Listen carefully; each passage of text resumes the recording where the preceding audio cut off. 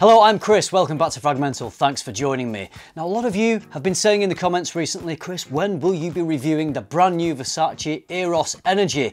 Well, the time has come. I managed to pick this up at Geneva Airport, so I'm going to unbox it and let you know what I think. I gotta admit, I'm not a massive owner of the Versace Eros fragrances. I've had a few samples, I've smelled them all, I've really enjoyed them all. The EDT is obviously a bit of a, a modern classic, very easy to wear, a bit of a dumb reach, but still very good, very vibrant, bit of minty green apple, very wearable, quite youthful, full of energy.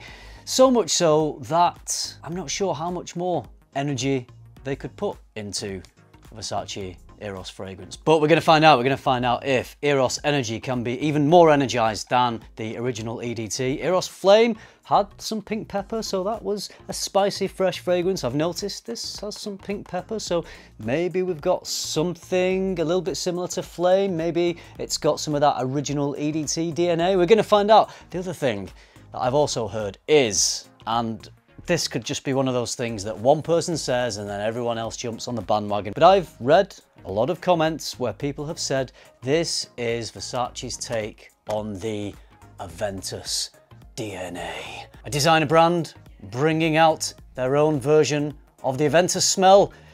That would never happen. Surely, Mont Blanc, surely that would never happen. Right, let's get this unboxed, give it a little smell. I walked through Geneva Airport 10 days ago and this was not on the shelves, but when I was returning just yesterday, this was on the shelves. So obviously I picked it up because I thought quite a few of you would appreciate uh, a little bit of a heads up on whether this is a decent fragrance or not. So we're going all yellow for the theme on this. It's, it's the color of, well, pineapples and lemons and other things. Let's give it a little spray, find out if it is a hit or a miss.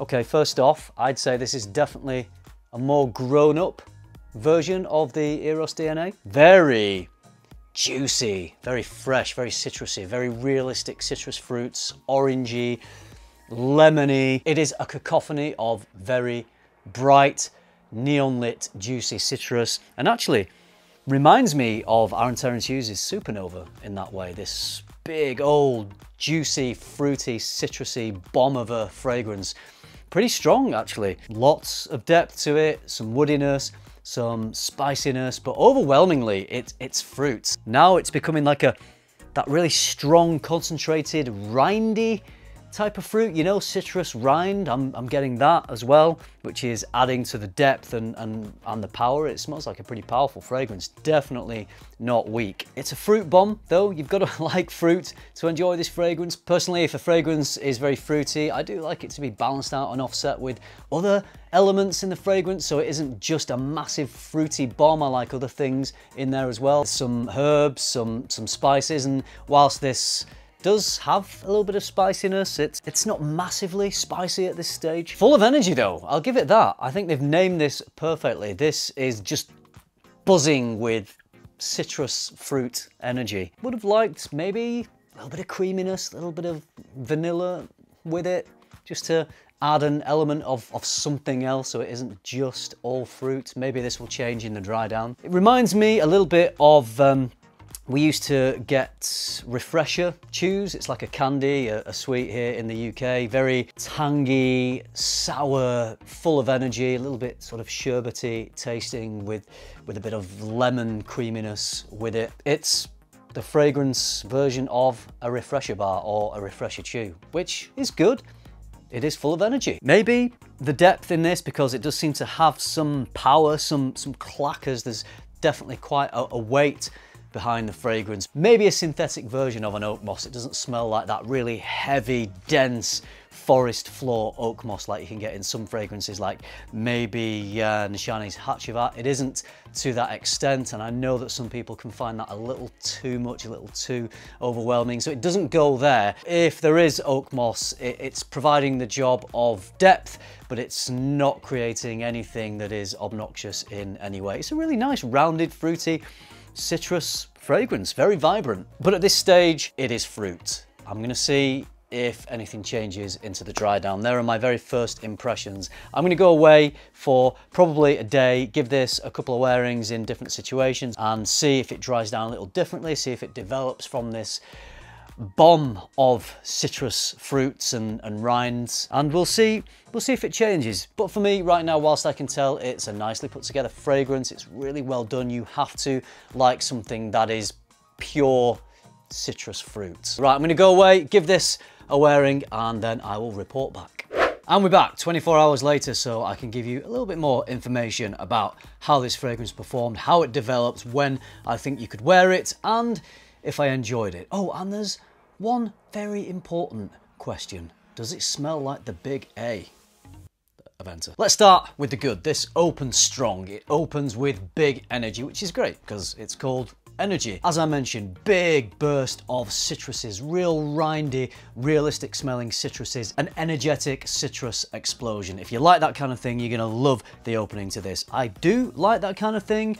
I do prefer it to be balanced with other things as well, not just a big old fruity citrus bomb. But if you love big old citrusy fruity bombs, you're gonna love the opening of this because that's exactly what you get. It's refreshing, it's invigorating, it's mouth-wateringly juicy actually, so this would be great to wear in the summer, which is fantastic, seeing as the summer is just about to end. Strange time to release this one, Versace, maybe? All right, so after this big citrus explosion, what happens? Does it get any better? And it does become a little more balanced in that the citruses do fade and tone down slightly. Not quite as prominent, they're not quite as strong, not quite as up your nostrils. But other than fading, it doesn't really become that much more balanced, like there's no woodiness that comes through, the black currant doesn't seem to come through, the pink pepper doesn't really seem to balance out that much. It just becomes a slightly more faded version of what it was in the opening. But it did seem to level off a little bit, so the dry down, I did find that it settled into its character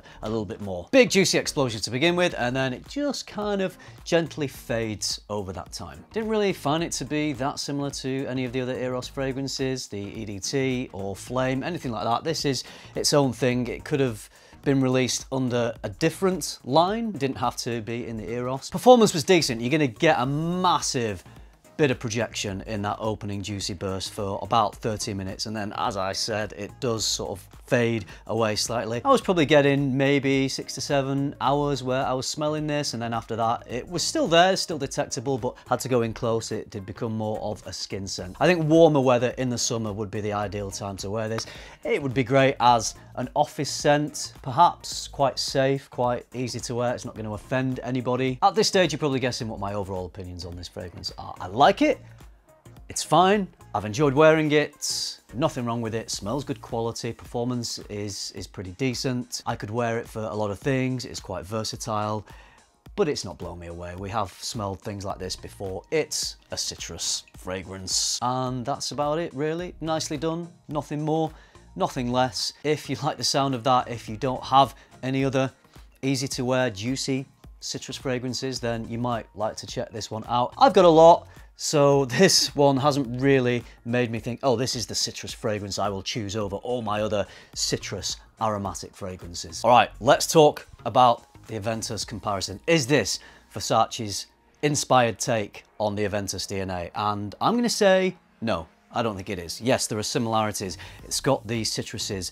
that Aventus has, but there are things that really make Aventus Aventus, things that give Aventus its distinctive character, like the pineapple, like that woody birch backbone. The balance of those two things really make Aventus what it is. This doesn't have that. This doesn't have those distinctive Aventus characteristics. It doesn't have the pineapple, it doesn't have the birch. It's got the black currant, it's got some citruses, but other than that, I'd say that's where the comparisons end. Yes, it's in the same sort of category, the same sort of genre, but I don't think that this is Versace's take on the Aventus DNA. It certainly does not smell anywhere near as close to Aventus as, say, Mont Blanc's Explorer. And I gotta say that I do prefer Mont Blanc Explorer. I mentioned I like my fragrances to be balanced, not just a massive fruity explosion and Explorer is more balanced, just like Aventus is more balanced. It's got the fruitiness balanced with the woods and the vanilla. So Explorer, Aventus, more balanced fragrances, better fragrances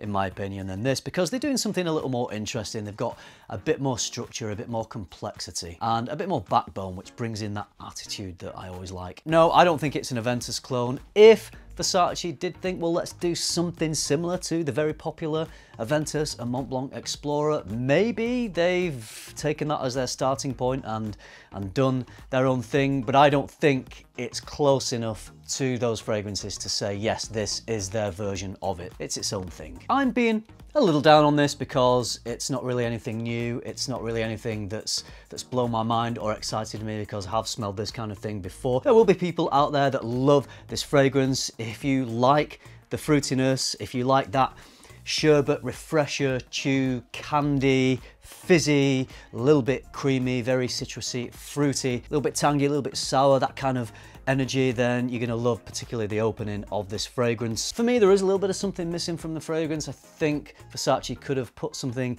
in here that made it more distinctive, that took it away from the citrusy smell of so many other fragrances that we've smelled. They could have done something that made it a little more unique, gave it a little more character. Not a bad fragrance by any stretch of the imagination. For what it is, it's been done really well. For my personal tastes, you may be the same as me, you may not be the same as me, but I would have liked something a little more distinctive. For example, I think some really cool, fresh spices could have worked really well in here. Perhaps some cardamom, perhaps a few herbs would have just given it a little more punchiness and a little more backbone. So that's my take on Eros Energy. It's good, but it's not amazing.